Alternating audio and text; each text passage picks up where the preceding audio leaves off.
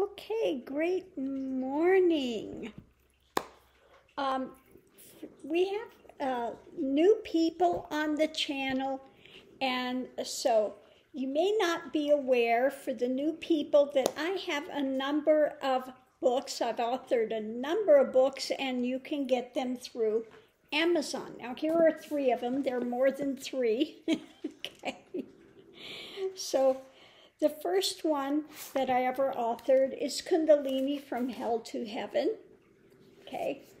And um, Wisdom from the Completed Journey, questions answered, guidance and tools for discovering the self. Okay. So it's on the back. It's uh, guidance for those with awakened Kundalini and for those seeking enlightenment. So it's a description of signs, symptoms of Kundalini awakening, and descriptive stories of those going through the process. Okay, so it's from my 30 year journey through Kundalini, and um, it's actually beneficial for anybody on a spiritual path. But it was written originally for those going through a Kundalini um, journey. Okay, it's not your typical Kundalini books. It's talking this chakra is this color, that chakra is that. it's nothing like that. It's more of the journey that Kundalini is. I call it the rotor rooter of consciousness, and it's more on that type of a level. It can benefit um, anyone. And it, uh, okay, even in here are some things for anyone, like um, Pathless Zen, simplified tools to reveal the truth. Okay, so um, there is what you would call a path of no path, or sometimes I call it the simplified Zen living. This helps to center and move you forward. Every move, moment can be used for spiritual sadhana. It must become a mindset, a natural way of life. There are some techniques you can use. It takes moving forward one step at a time. These are tools I have found along the way. If you haven't started this practice, then begin. So we have to, number one, relax just be aware of your breathing. Go into the breath and completely relax. Don't attempt to slow it. Just be aware of it and then be aware of the body within, centered in the heart, right side of chest. Okay. Number two is focus on one experience, one thing at a time. So you develop mindfulness. Number three, stay in the present no past, no future. So if you see yourself projecting in the future, bring yourself back to the moment. If you see yourself, uh, you know, uh, wallowing in the past, again, bring yourself back to the moment. You can say the only thing that's happening is, and you do something specific. Like I would say, I'm talking to people, I'm having my coffee. That's it and let the rest of it go and bring yourself back to the moment. Uh, number four, watch the thoughts and be aware of the body and space. So, active vipassana or witnessing. Number five, reject everything that you hold to be the you that is transient in nature until you come to what remains, the essence. Neti neti, self inquiry I say you look and watch at what is this I. Anything that's moving and transient is not the divine is. Okay, so let's go forward. Um, number six, live your highest truth at all time, honesty and ethically. Number seven, see every moment as sacred and conduct yourself as such. Number eight, repeat the mantra Om first be aware of the sound, the vibration, and then switch and be aware of the silence. Number nine, repeat an audible mantra. One which is very good is I am that I am. Number 10, repeat an open eye mantra while walking, Om that I am. No matter what you see, say Om that I am, and this breaks down your feeling of separation from existence and life. Number 11, realize that every experience is transient in nature and that it will change. Number 12, see rising emotions as simply movements of energized perception and don't label them. Number 13, realize that energy is neutral it is only our perception that makes it appear positive or negative. Number 14, everything within the transient realm is directed and held in place by mind and the identity with your story experiences. When mind is transcended, so are the illusions. So that's only one thing that's in this book on um, Kundalini. Okay. So it's it's got a lot of things like what is silence, what about fears, um, about channels, living sadhana, how you assist. Um, about what the Kundalini is, what Kundalini does, about siddhis, about the uh, levels and layers or the what people call the chakras, uh, Kundalini phenomena, symptoms that you may experience, um, how Kundalini gets started, what's the purpose of it. So, all of these types of things are found in the Kundalini from Hell to Heaven. Um, so all of these books can be gotten through Amazon. Just look up Ganga Karmokar, K A R M O K A R, and you'll see all these books online. Second book is Song of the Butterfly Finding the Freedom Within. Okay, these are little short things on all sorts of, of um, subjects. So we have the spiritual path, spiritual practice, the synopsis, the guru, diksha, God, reality, and non duality, um, bhakti, karma, and karma yoga, what they are, the now versus the past, surrender, the ego, mind, fear, desires, and emotions, thoughts, vairagya, and witnessing, intellectual trap, knowing versus knowing about, self realization, excuse me, relationships, sex and love, um, death, birth, and suicide, miscellaneous body breathing, meditation, astral realms, healing, suffering, religion, beliefs, samadhis, maya, divine illusion, material wealth, Part two is on the Kundalini path. Part three is the Christian perspective, uh, changes in consciousness, etc. So all of those are found within Song of the Butterfly.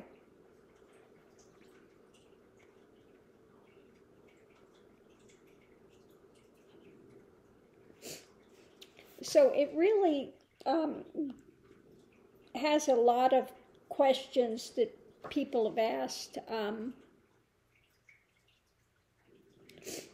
okay, here's one about Kundalini and Pace say Kundalini has to do with sex.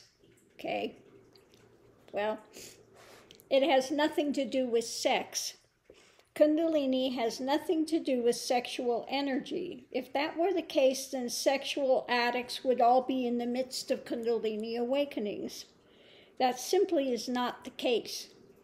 Those that equate Kundalini with sexual practices, i.e., so called Tantra, will simply wind up becoming more deluded and trapped within another type of conditioning.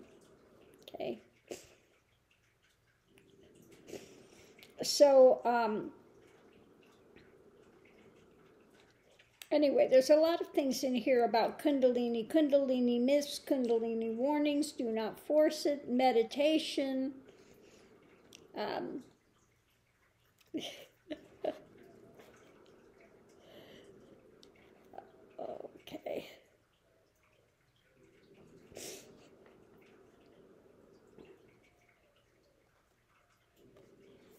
chasing powers. So these are things that were, um, again, uh, given to different people. Um, mostly when I had the Yahoo groups before I started the YouTube, I had direct interaction with people one to one, and this comes through all the questions they had asked. Okay, so Song of the Butterfly Finding the Freedom Within and last but not least, well, not last, there are other ones online. I think there's at least six, maybe, different books. But this one is Wisdom from the Realm of Non Duality. So, what is it like to be a realized being? What is it like to live in non duality? How is non duality different from the realm of duality? So, um,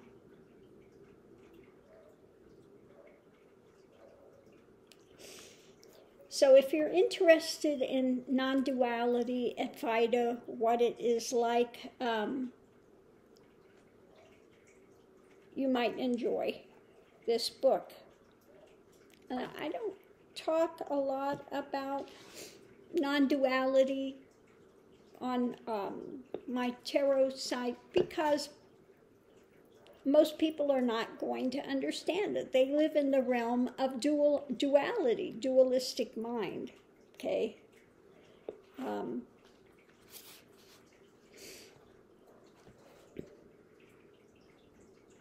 so here is enlightenment is clarity.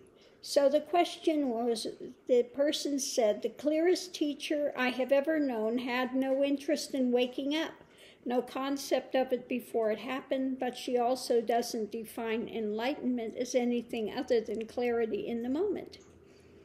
And I said, yes, that's an excellent example.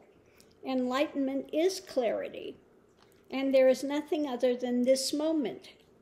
When the baggage is blown out, that all that is all that remains. Before enlightenment, you chop wood and carry water. After enlightenment, there is chopping wood and carrying water. Life is what remains the great adventure, the eternal mystery. Chasing after lights, bells, and whistles ends. The best show is right in front of you, and the best seat in the house is the one you're sitting in. So go with the flow and dance to the universal song. There is no seeking unless there is lack. Okay. So you're no longer seeking anything, you're in the present moment. The mind is still, there are no extraneous thoughts coming and going. Okay. So that's part of it. Um,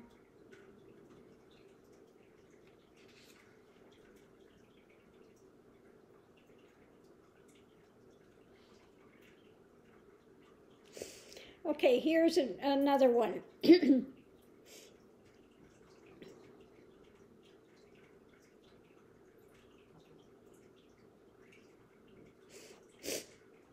On zero point balance, when personality and form fall away.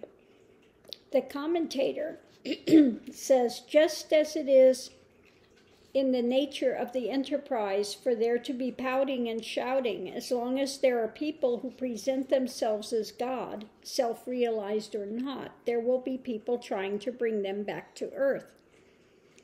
My answer was absolutely. The personality never is God.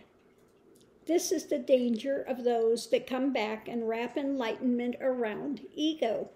When enlightenment occurs, occurs, you are not you. You do not exist. There is simply source. Coming back into a sense of form, you become then a simple, simple, most ordinary person. The games are gone. Personality and form are simply cells in the body of God. Although from there the Advaitic mind is paramount, still you have no such egoic ideations that the personality and form have anything to do with the impersonal essence. Within zero point balance, no illusions remain. You know at once the one and the apparent diversity. While the essence is one, the personal experience gives it flavor. There is simply awe at this mystery. Okay.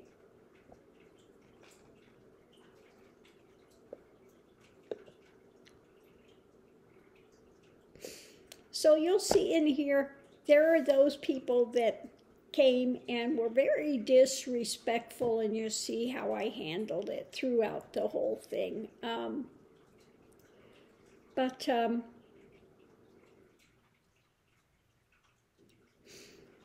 here's a, I'll read one more thing here.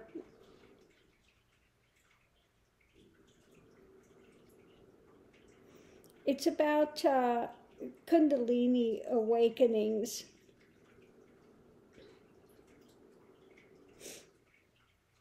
It says, if you were in the midst of a full blown Kundalini awakening with all the inherent difficulties that arise, you would surely want to know. If you are simply having good vibrations, it might not be Kundalini awakening at all or simply an early start of pranic surges. They are not one and the same.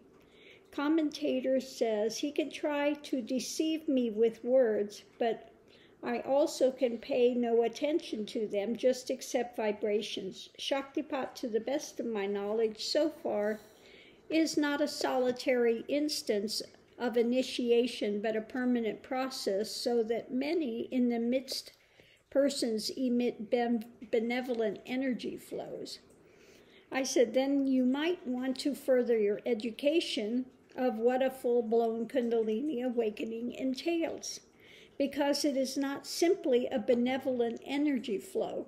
The energy itself is neither positive nor negative. It simply activates all the stored cellular memories and brings to the surface everything held within the three bodies.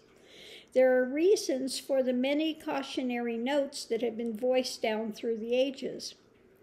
That it can and does lead to madness and severe health problems if not rightly entered and managed. Sensing vibrations and having a Kundalini process going are two different things.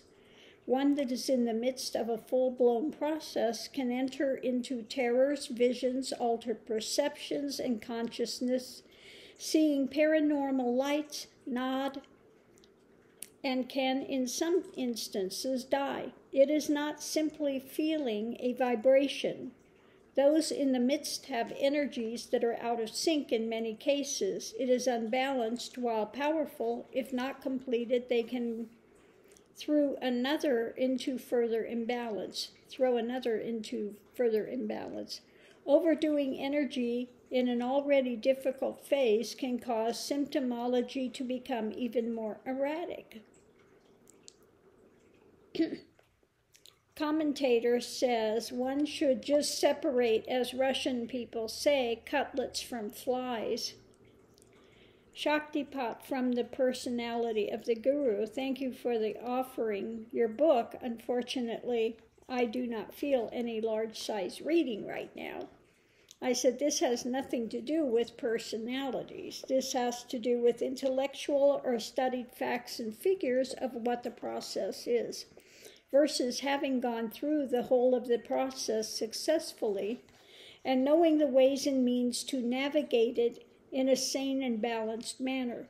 If you spoke with those that have gone through an out of control awakening and the difference between that and coming into balance and understanding what is being traversed versus having some general theories and half knowledge, you would indeed find that it makes a great deal of difference for those that are doing a yoga practice of asanas, etc. Without awakening, it matters little. Just because one does Kundalini yoga or other yogas, it doesn't mean that they are in the midst of an awakened Kundalini.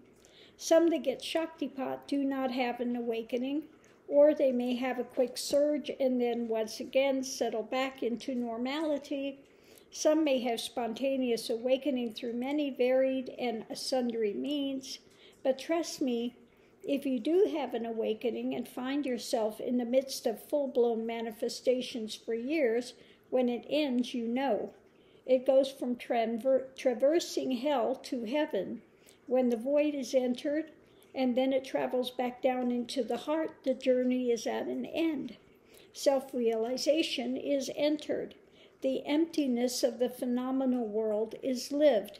Peace remains where once there was all manner of difficult path encounters.